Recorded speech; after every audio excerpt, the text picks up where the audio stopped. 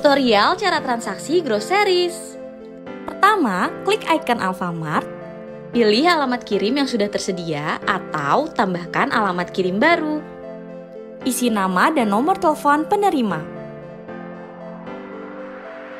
Kemudian, klik tandai lokasi pengiriman.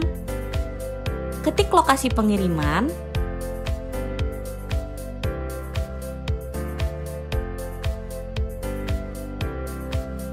klik icon plus untuk memperbesar tampilan peta. Pindahkan dan sesuaikan icon lokasi.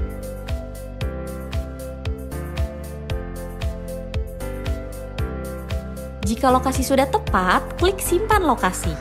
Kemudian tambahkan detail alamat seperti nomor rumah. Jika tidak ada nomor rumah, kamu bisa tuliskan nomor RT atau RW konsumen kamu. Jika sudah, klik mulai belanja. Cari produk yang ingin ditransaksikan berdasarkan kategori atau pencarian produk. Lalu, tambahkan ke dalam keranjang.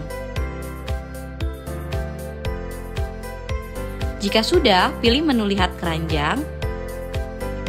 Cek dahulu produk yang ingin ditransaksikan. Lalu, lanjutkan untuk memilih metode pembayaran. Cek kembali jumlah produk, total biaya, serta saldo kamu ya sobat sebelum melakukan pembayaran. Jika sudah, masukkan kode CVV kamu lalu bayar. Eh iya, untuk saat ini produk Alfamart hanya bisa ditransaksikan menggunakan saldo Alfamart ya sobat. Kalau sobat punya pertanyaan lainnya, coba tulis di kolom komentar ya. Bye!